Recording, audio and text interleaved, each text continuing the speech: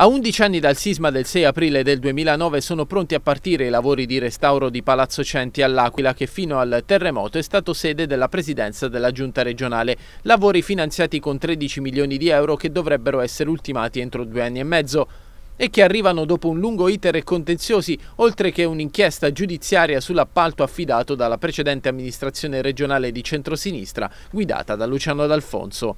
Ieri c'è stata la breve cerimonia di consegna dei lavori con la visita al cantiere da parte dell'assessore regionale al patrimonio e al bilancio Guido Quintino Liris e il governatore Marco Marsilio. Nel lungo iter di restauro del palazzo, partito nel 2012, la giunta regionale ai tempi dell'amministrazione di centrodestra guidata da Gianni Chiodi, dopo un serrato braccio di ferro con il provveditorato interregionale alle opere pubbliche, precedente stazione appaltante, è riuscita a prendere in mano la commessa come ente responsabile dell'appalto. I lavori sono stati affidati alla ditta General Costruzioni SRL di Isernia, aggiudicataria dell'appalto.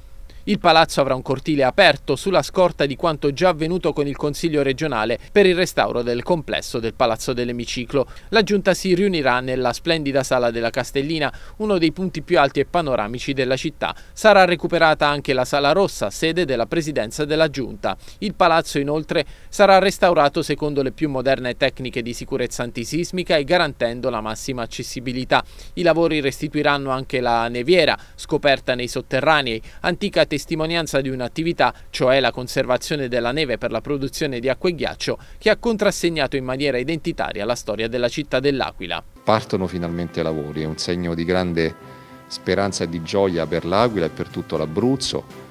Gli aquilani sono fortemente legati a questo palazzo che non a caso rappresentava il cuore dell'istituzione regionale eh, e, del senso del proprio essere capoluogo. Finalmente siamo in grado di poter consegnare alla città il cantiere con gli operai che, ripeto, da lunedì inizieranno finalmente i lavori e tutta la città potrà vedere un vuoto urbano che eh, torna diciamo, a, a, dare il senso di una ricostruzione che si avvia finalmente a far vedere la luce dopo tanti anni.